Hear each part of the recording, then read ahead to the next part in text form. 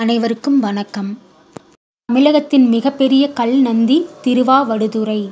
பகலும் இரவும் சந்திக்கும் அந்தி வேளையே பிரதோஷ நேரமாகும். தோஷம் என்றால் குற்றம் உடையது பிரதோஷம் என்றால் குற்றம் இல்லாதது. குற்றமற்ற பிரதோஷ பொழுதில் இறைவனை வழிபட்டு நம் தோஷங்களை நீக்குவோம். பகலும் இரவும் சந்திக்கும் அந்தி வேளை பிரதோஷ நேரமாகும். இந்த வேளை பிரத்யுஷத் காலம் என்று சூரிய தேவனின் மனைவியின் பெயரால் அழைக்கப்பட்டது. நாளடைவில் மருவி பிரதோஷம் என்று ஆகிவிட்டது. தினமும் மாலை கிட்டத்தட்ட நான்கு முப்பது மணியிலிருந்து ஆறு மணி வரை உள்ள காலம் பிரதோஷ காலமாகும்.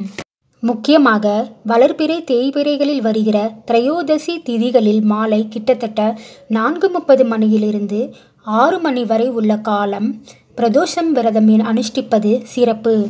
சிவராத்திரிக்கு முன்பு வரும் பிரதோஷம் மகா பிரதோஷம் ஆகும் பிரதோஷம் சனிக்கிழமையன்று வந்தால் அது சனி பிரதோஷம் என்று கூறுவார். சனி பிரதோஷம் மிக சிறப்புடையது. ஆழகால விஷமுண்ட சிவபெருமான் சயனித்து எழுந்து ஒரு சனிக்கிழமையன்று மாலையில் தனது சந்தியா தாண்டவத்தை ஆடினார் என்று பெரியோர்கள் கூறுகிறார்கள். திங்களன்று வரும் பிரதோஷம் சோமவார பிரதோஷமாகும்.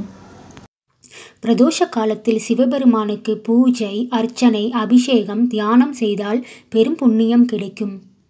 சிவபெருமானின் யோகத்தீயிலிருந்து அவரது அம்சமாக தோன்றியவர் நந்தியம் பெருமான். பிரதோஷ காலத்தில் நந்திய பெருமானுக்கு அபிஷேகம் செய்து தீபாராதனை செய்வார்கள்.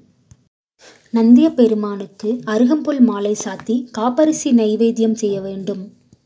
சதா சர்வ காலமும் சிவனையே நினைத்து நினைத்து தியானம் செய்து கொண்டிருக்கும் நந்திய பெருமான் தர்மத்தின் வடிவமாகவும் யோகத்தின் வடிவமாகவும் விளங்குகிறார். பிரதோஷ காலத்தில் நந்தியம் பெருமான் கொம்புகளுக்கிடையே உள்ள இடைவெளி வழியாக மூலவரை தரிசிக்க வேண்டும் என்பது ஐதீகம்.